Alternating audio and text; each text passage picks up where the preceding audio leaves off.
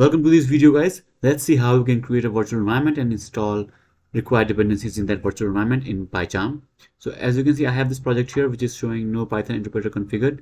If you are seeing this, then uh, you can do what I what I am doing right now. If you're not seeing, seeing this, you will be seeing something like this. So in any case, what you can do is you can just click here and then you can click on interpreter settings.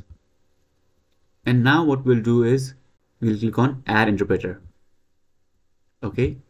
And what we'll do is we want to create a virtual environment right? So we will choose virtual environment environment here and click on new because we will create a new environment. And by default this will create a .venv folder. Sorry not dot just venv folder inside our project directory. And base interpreter is the python that we have installed in our system which is this one.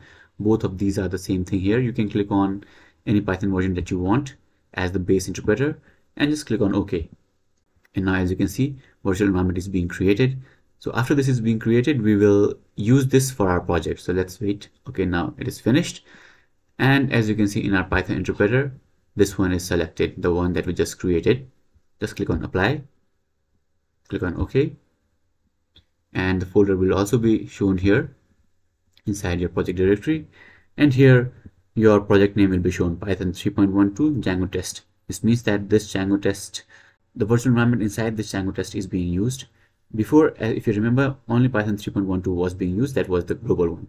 Now, how to install packages in this? So what you can do is come here towards this left navigation drawer, click on terminal. And what we need to do is we need to activate the virtual environment so we can install packages in this first. To do that, just type dot slash.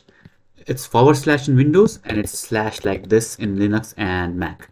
So I'm on Windows, so I'll do this and then type venv then scripts and then activate. You can hit tab to autocomplete so i'll just hit tab and will autocomplete hit enter.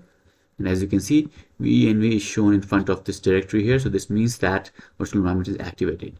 Now we can install required dependencies only in this virtual environment and th that will be accessible only by this project. So i'll install django here pip install django hit enter and as you can see this is being now installed and once this is installed we will be able to run this project so after a while the package is installed and now we can run our project so since this is a django project i'll just run it like this